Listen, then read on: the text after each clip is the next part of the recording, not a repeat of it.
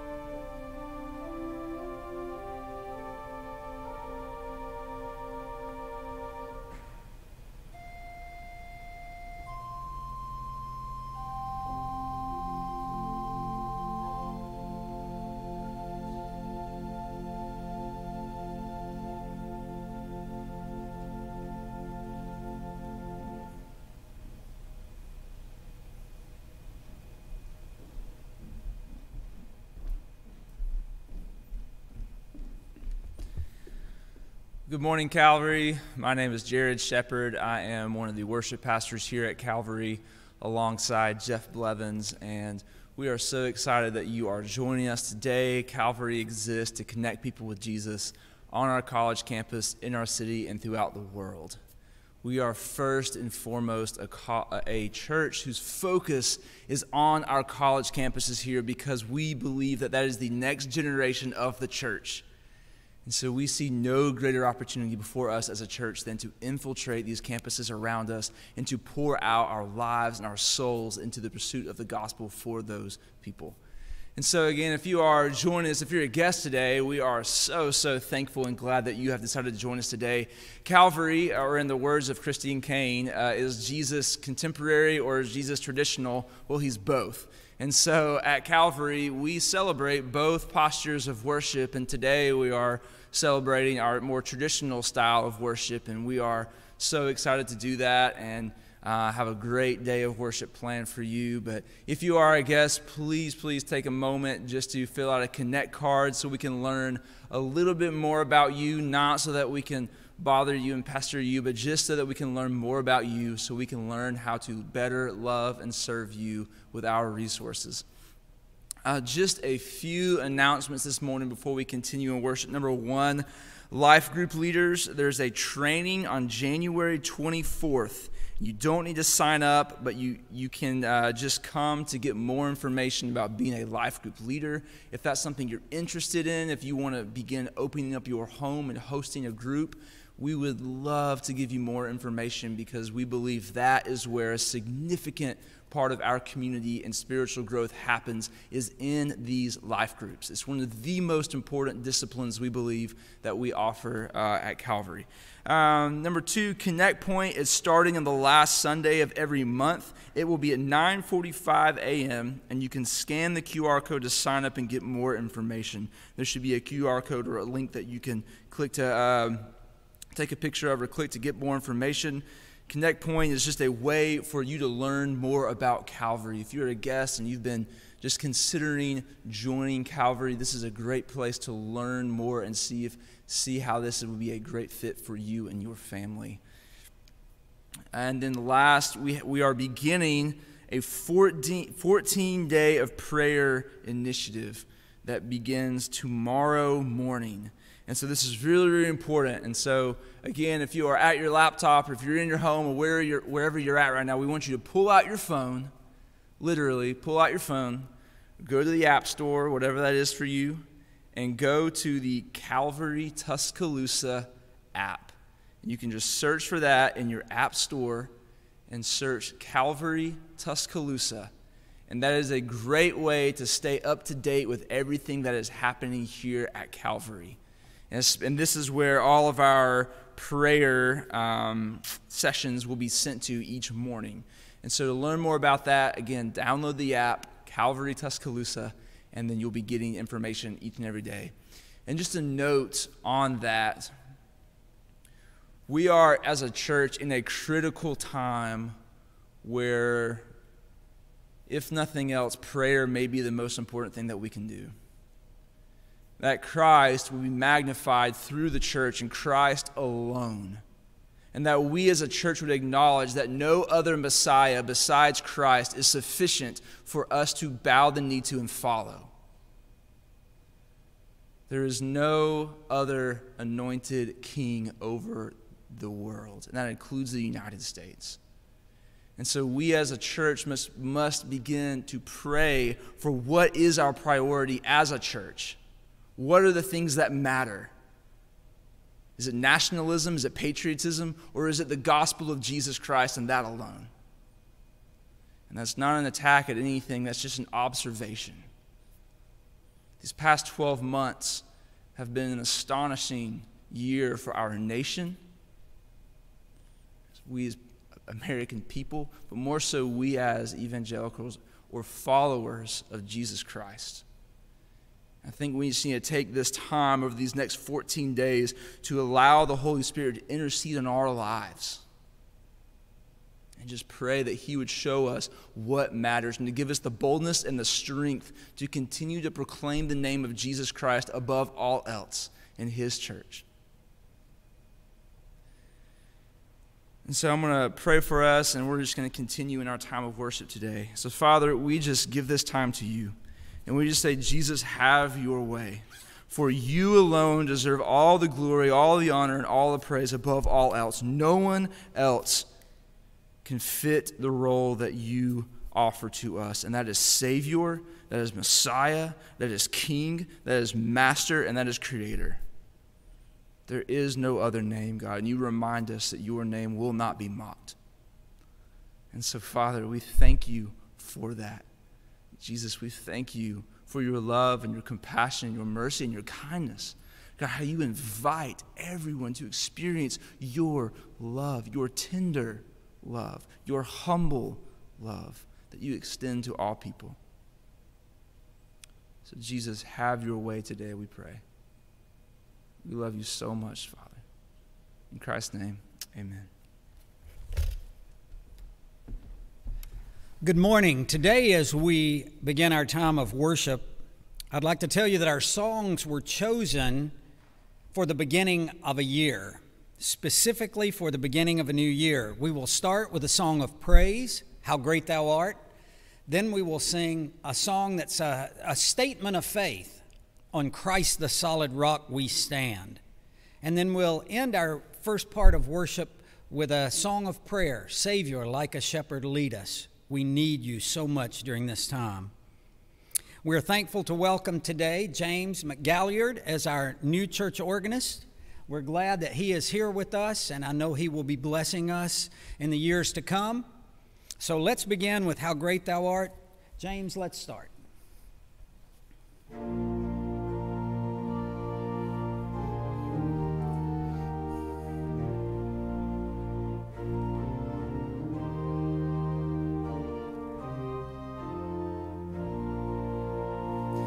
O Lord my God, when I in awesome wonder consider all the worlds thy hands have made, I see the stars, I hear the rolling thunder, thy power throughout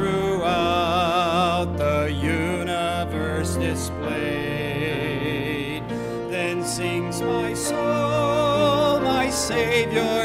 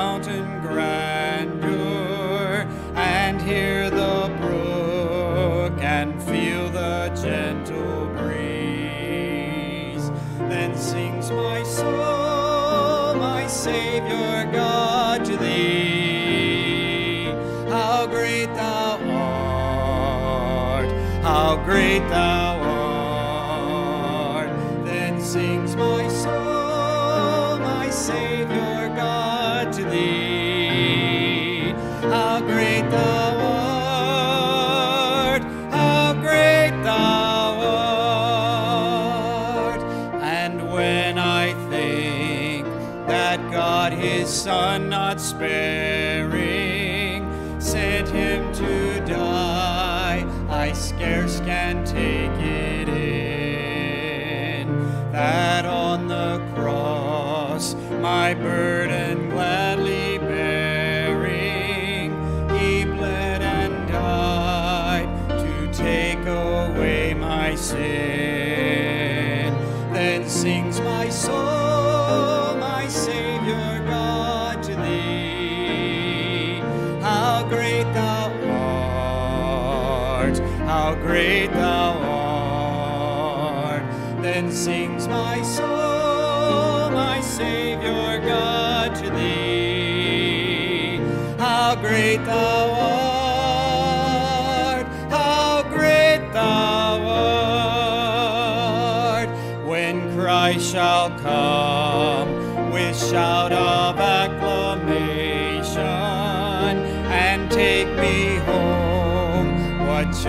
shall fill my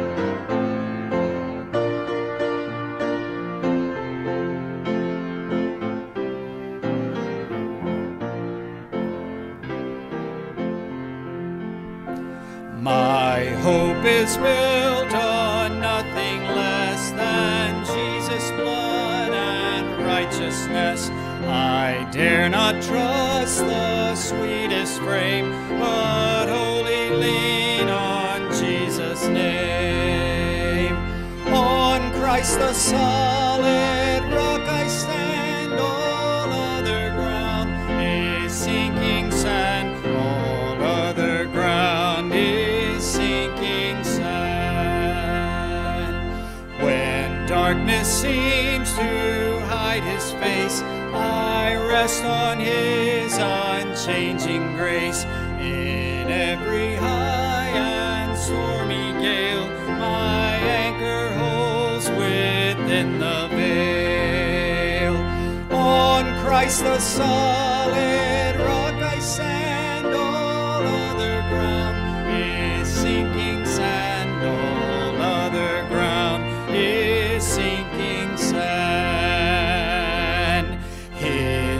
His covenant, his blood support me in the whelming flood. When all around my soul gives way, he then is all my hope and stay. On Christ the solid rock I stand, all other ground is sinking sand,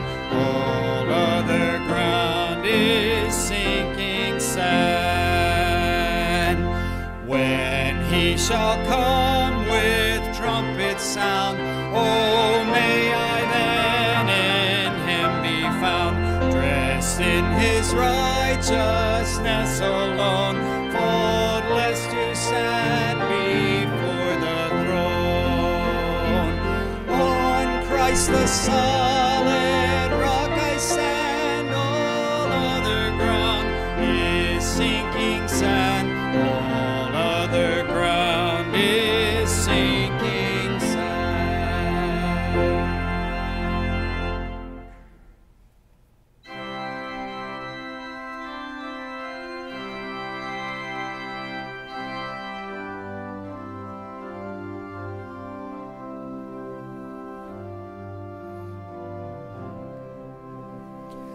Savior, like a shepherd, lead us. Much we need thy tender care. In thy pleasant pastures feed us. For our use thy fools prepare. Blessed Jesus, blessed Jesus,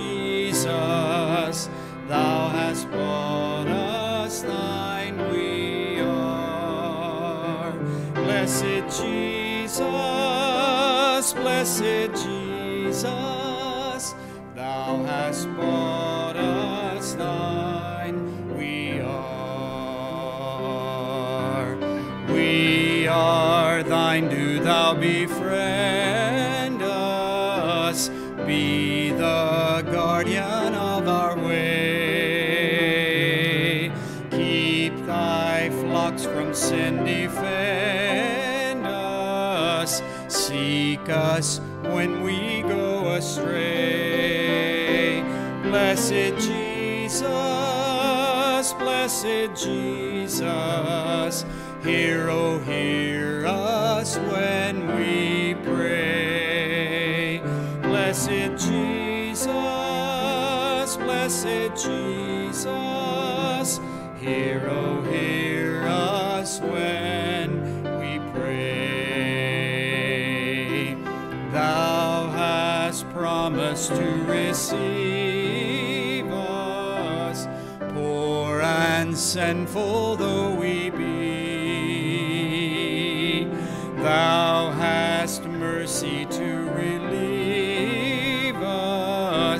grace to cleanse and power to free. Blessed Jesus, blessed Jesus, early let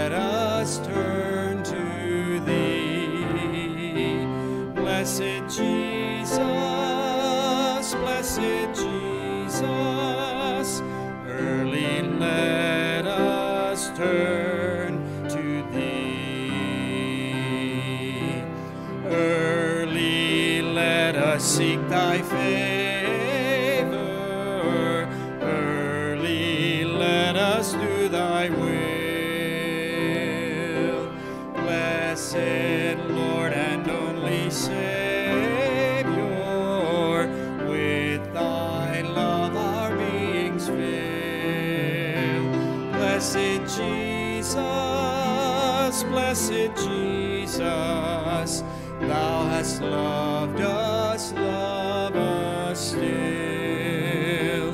Blessed Jesus, blessed Jesus, thou hast loved us, love us still. Branna Burns is going to come now and continue to lead us in worship.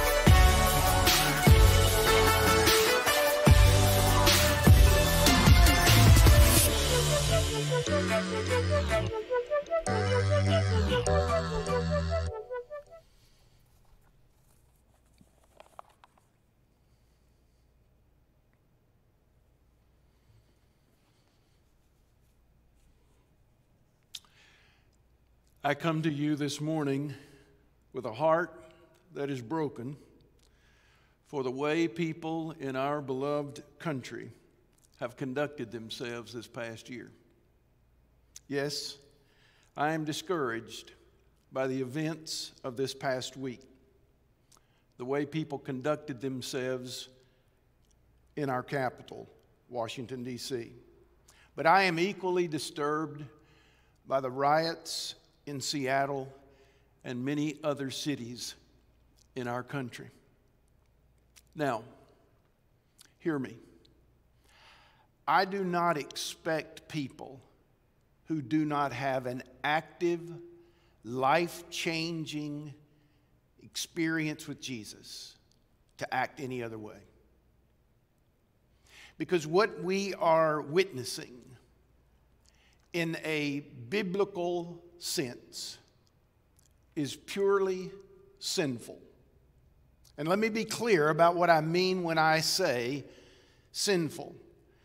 What we are seeing displayed in our country simply does not reflect the good intentions of God for His world. What we are seeing simply misses the mark of God's intentions. That's what sin means. It means missing the mark of God's good intentions. And so those who are on the left can scream at me, and those who are on the right can shake their heads at me, but my thoughts remain the same. As a nation, we have lost our way. And as a result of that, we have decided here at Calvary, this family of faith, that we would begin this year with a season of prayer. And so, as your pastor, I can only speak to you as your pastor, but as your pastor, I'm asking you to get off Facebook. I'm asking you to get off Twitter. And I'm asking you to get on your knees. I'm asking you to allow Jesus, the Father, the Spirit, and the Word of God to redirect 2021. And it begins in the house of God. And so, without any hesitation, we have chosen to title this year Redefining Normal. Wouldn't it be incredible if normal was that the people of God were on their knees seeking the will of God and the courage to live that will out in our country and, frankly, throughout the world. Wouldn't that be a new normal? And that is the new normal that we are praying for and we are inviting into our lives. The video that you saw just before asked a question at the end. It says, What if ordinary disciplines of the Christian life were the very mechanisms that God uses to bring out extraordinary results? Prayer is a word we use often. It is so ordinary and common. But I will tell you, it is the instrument that God uses to form the minds and hearts and hands of His people. And so last week we began by instructing you how to pray as Jesus taught His disciples. No better place in my mind than to simply look at when the, how Jesus answered the question for the disciples. The disciples said, Lord, will you teach us to pray? Meaning, would you teach us to pray like you pray? There's something extraordinary about the way you pray. We didn't see it in the temple. We haven't experienced it in our homes. Something extraordinary is happening in your life, and we want that. And Jesus said, All right, then when you pray, you pray like this Our Father in heaven, hallowed be your name. Your kingdom come, your will be done on earth as it is in heaven. Give us today our daily bread, and forgive us our debts, as we also have forgiven our debtors. And lead us not into temptation, but deliver us from the evil one.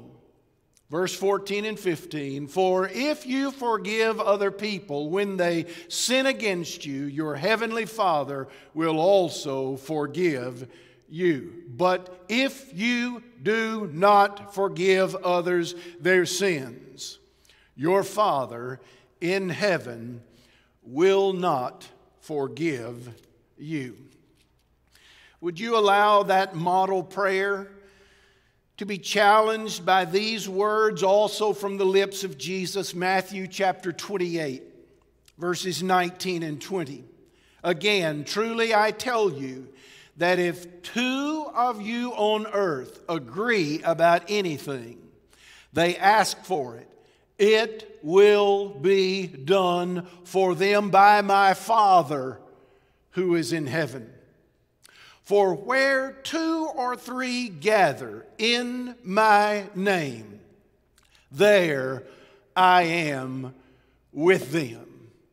I'm asking you to get off Facebook, Twitter, social media, and let's together get on our knees. Let's agree together on what is important. Jesus says, as he's teaching them to pray, this is important. When you address God, you call God Father exactly as I have called God Father. When you pray, I want you to call your Father's name, and I want you to understand that it is His will to be done on earth. And His will is that our world look like His heaven. And so Christianity is not a religion of everything gets better when you die and go to heaven. It's a call to bring heaven to the earth. And so this morning, I want you to remember the collective impact of people of God praying together. One of some of the most exciting passages in all of the Bible is this sense that we get that people, ordinary people like you and me, ordinary people could actually hear and understand God and begin to move together. So the movement of God starts by hearing from God in prayer, by conversing with God and asking about His will on earth. Start out praying to our Father.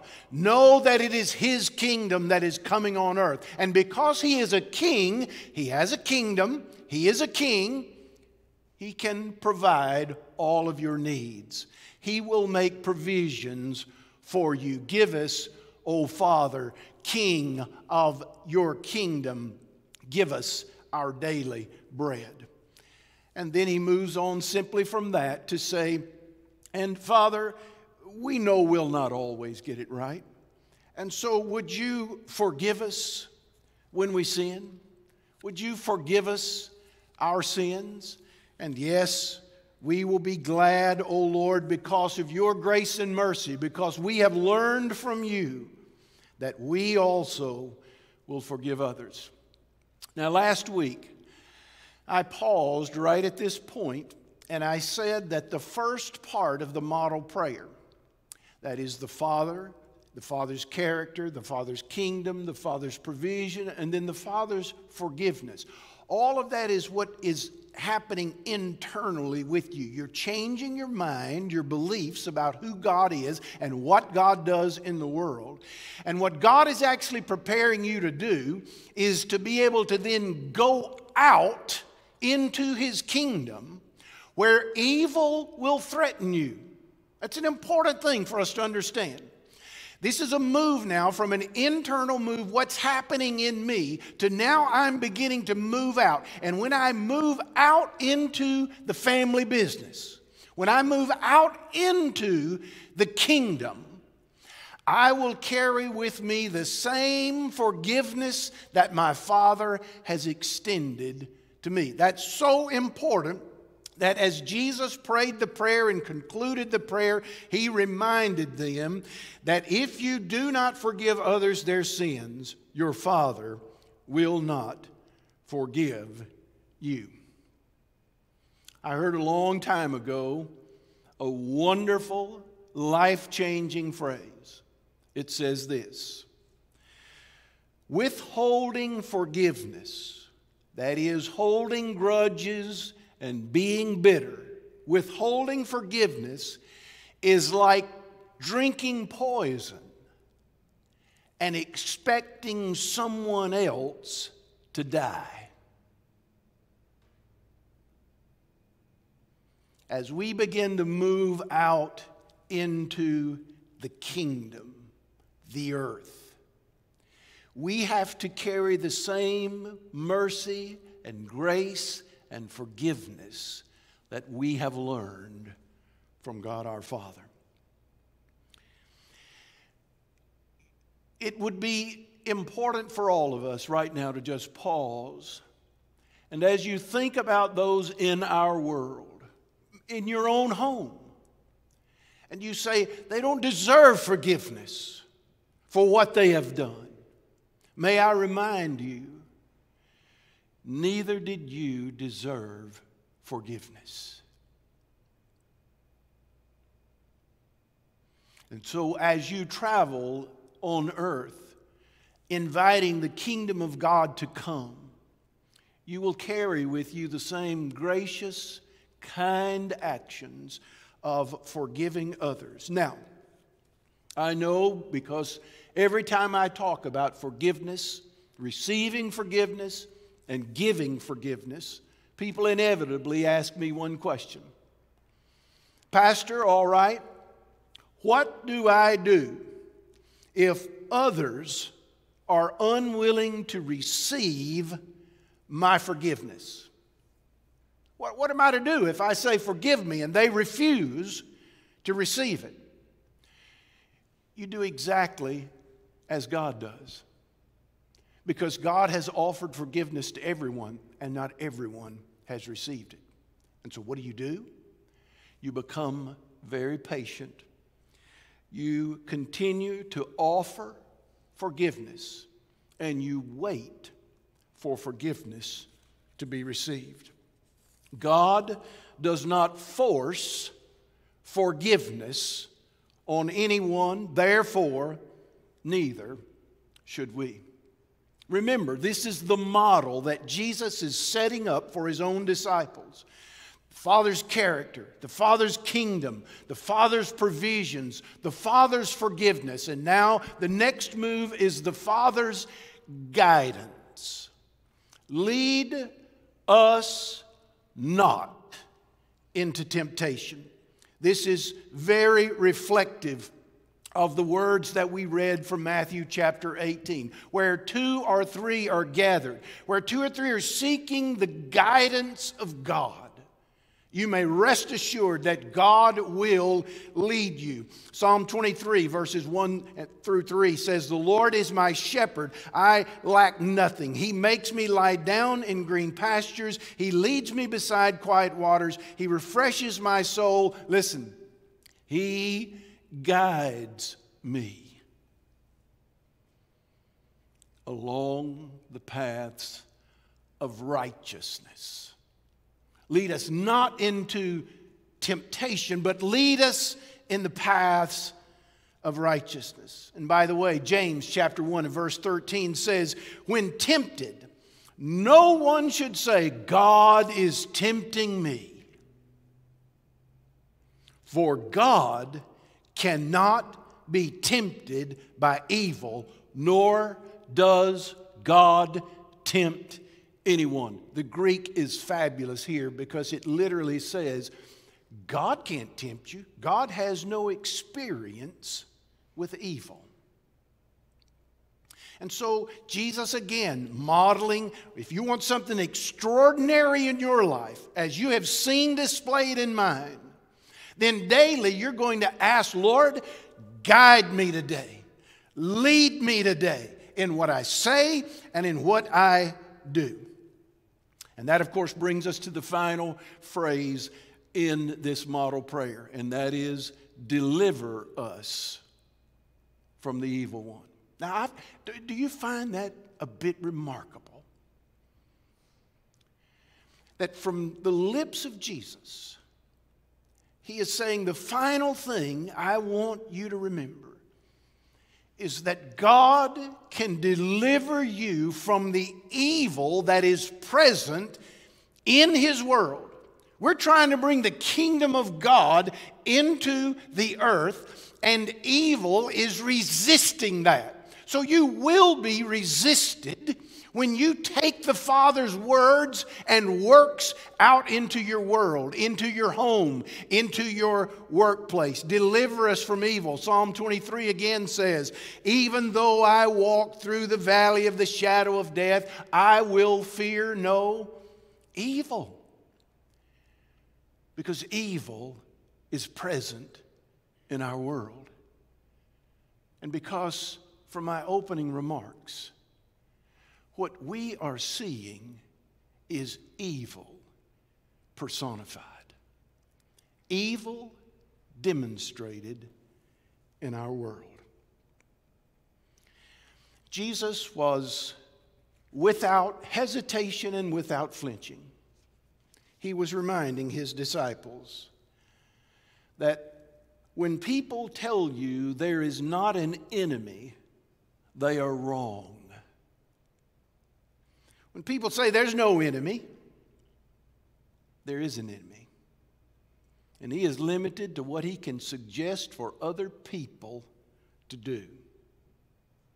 When people say there's nothing out to steal, kill, and destroy, the Bible says different. It says there is a thief who has come to kill, steal, and destroy. When people say there's no war between good and evil in our world, it's just not lining up with the scripture. Read the Bible and you will find a battleground. And Jesus says, Deliver us today as we deliver your good news to those in our world. You deliver us from the evil that would steal, kill, and destroy us. Now, I do need for you to know this from James. If in the name of Jesus you resist evil, evil will flee from you. James chapter 4 and verse 7 says, Submit yourselves then to God. Let's make it fit. Submit yourselves then to the Father, who is the King of his kingdom who provides for you, who forgives you, who uh, guides you, and who can deliver you. Submit yourself to God, resist the devil, and the devil, evil, will flee from you. Imagine now, if you will, that every day for the next 14 days, beginning in the morning, that we are collectively on our knees and we are seeking the face of a God who can deliver us. Imagine the impact, positive impact in your life, in your family, and in our world. So, the way we're going to conclude today is that I'm going to give you just a bit of information about how you can be a part of this corporate prayer time. What was the vision behind praying together for 14 days? I, I don't say this simply, but the Word of God is the vision behind why God's people pray together. When the early church gathered right after Pentecost, they spent time praying together. Now, look, just because we're not going to be physically in the same room together doesn't mean that every day we can't pray together. What a powerful idea. Beginning tomorrow morning, uh, it'll be online on your app. Jared has already told you how to secure the app. You need the Calvary Tuscaloosa app. It will come to you every morning by 6 o'clock in the morning. We are going to attach a, a, a bit of music to that, or you don't have to use that. But we're going to have someone speak to you about what we'd like for you to pray about. And I'll just give you a little hint. I'm the first. And I'm going to ask us to pray together beginning tomorrow morning about getting our eyes in, back into our world, off of church life and back into the relationships that we need to develop. Why? To connect people with Jesus. You'll hear that in the morning. And then we want to encourage you to just pray and to think about the topic that we've given you. So that's what's going to happen. It's very simple. You don't have to wake up at 6 o'clock, it'll be in your box whenever you want to utilize it. And so, what we'd like to do right now is to just sort of demonstrate what this might be like. And I'll use my words today about the United States of America and how I am heartbroken for it. And so, the topic for these next few minutes is going to be our nation. It'll be a little bit awkward via video, but we're going to provide some piano music just to play in the background as you pray for our nation. Maybe you want to just read back through the model prayer.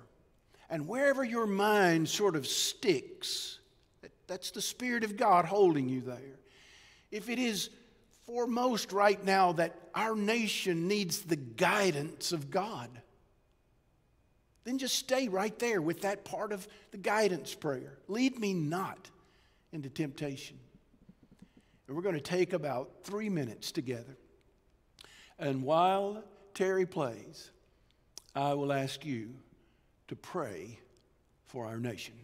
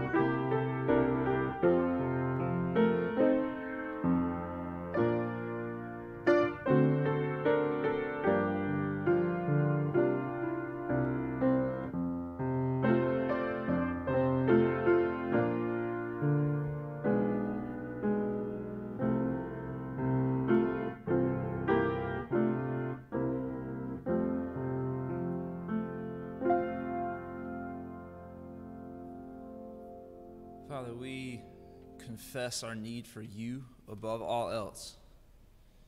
Father, we confess that you are the way, you are the absolute truth, and you are the life.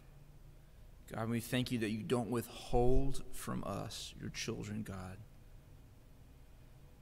When it comes to your love, when it comes to your compassion, when it comes to your grace and your mercy and your forgiveness. So, Father, would we use that as a model to live our lives and to love others, to pursue mercy, to be lovers of mercy, and extend that out to all that we come in contact with. So go before us this week, we pray. In Christ's name, amen.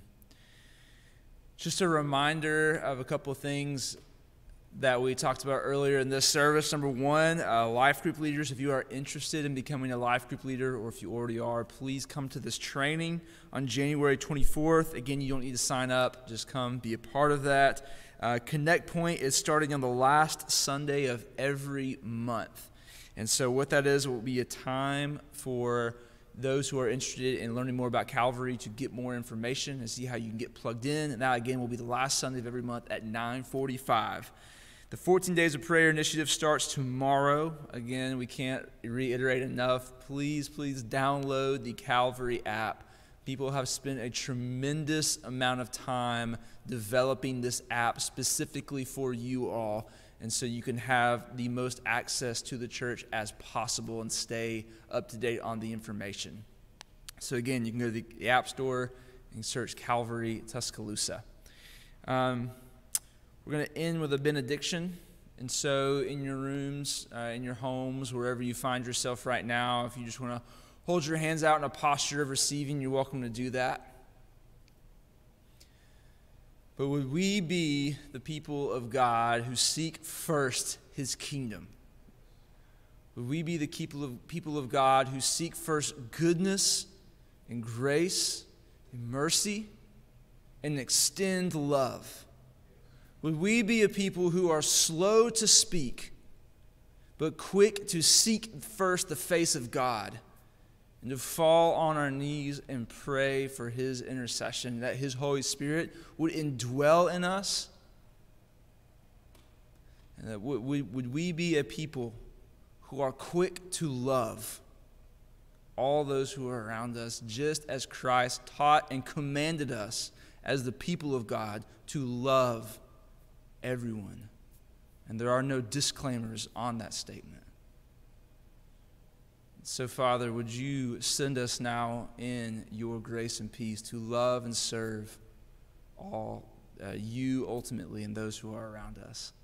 So, we love you, Calvary, and we are so thankful that you've again decided to join us today. We look forward to being with you in person next week at our normal service times at 8:30 for a traditional service and 11 o'clock for our contemporary service. We'll see you then.